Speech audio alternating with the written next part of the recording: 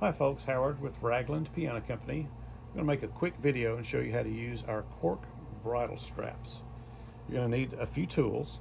Um, I like to use a pair of small scissors. I think these are called dissecting scissors, if I'm not mistaken, about $5 on Amazon or eBay. Uh, of course, a set of our uh, bridle straps. M medium is going to fit 90 to 95% of the pianos out there. And with our sets, you also get a tool included with that that will help with installation. You'll see that momentarily. I also like to put just one drop of glue on my bridle straps as I'm installing them. Over time, the cork can shrink and let them pull back out again.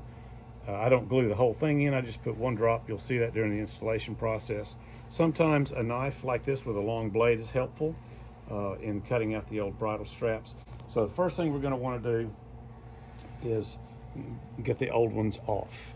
Uh, this is a very old action. These are actually original straps. They're extremely brittle. You may be seeing something like that on your piano or you may have a more recent replacement set.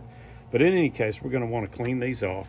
Sometimes they're so brittle, you can just break the pieces loose like this.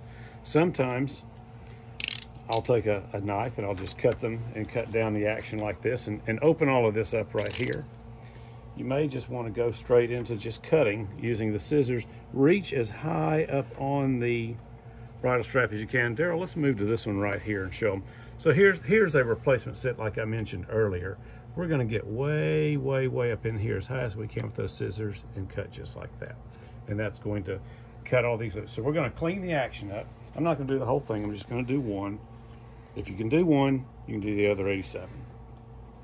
So once you've got it cleaned up like this one is right here, I'm going to get into our bridle strap package here.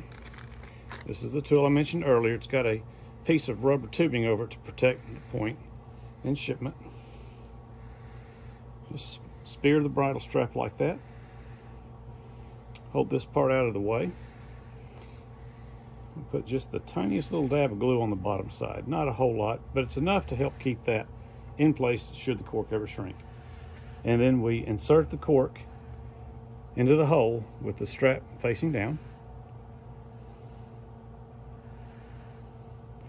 Just like that. Pull this out go through do all of them once they've dried.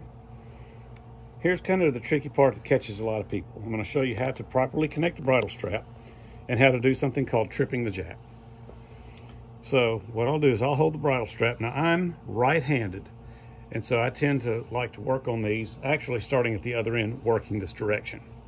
However, we're just doing one as a sample, so this will work just fine. But I'll, I'll take the bridle strap in this hand, which that already needs to be cleaned off.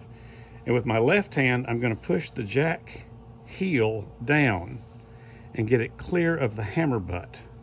Because if it's not clear of the hammer butt, when I raise up to hook up, this is gonna catch in the wrong spot and you'll have a, a hammer that risks breakage when you install it in the piano action because the hammer will fling forward into the string and block.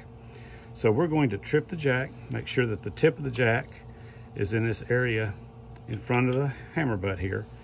And then we're going to turn the bridle strap like so, bring it this way here, work it around the top like this right here to where I can find that point and spear it down just like that. That's how to do it and then release the jack and everything's going to be in the correct spot. Now, if you find that you have an excessive amount of movement here, this is about right.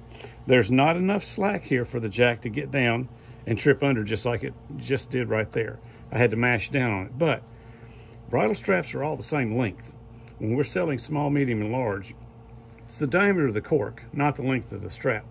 Proper adjustment of the bridle strap is just done by bending the bridle wire. You bring it back a little bit, now we've got, I've got my finger pressing the hammer butt down so the shank is at, at the rest position.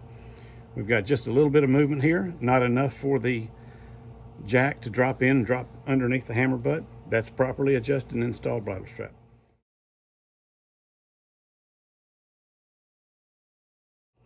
Whoops, almost forgot. I was going to show you why I have a, a lighter for uh, burning the action down if you get tired of messing with it. No, that's not what we do this for uh, I'll show you what we do is if you're replacing a set that is a previous replacement from 20, 30, 40 years ago, many times they'll have a vinyl tip to them that has hardened and become very difficult to work loose. We've got an action right here that has those on there and I'm going to demonstrate how a little bit of heat helps to soften those up. See, we have this very stiff old vinyl tip to this bridle strap and it would be very hard to get this off of here.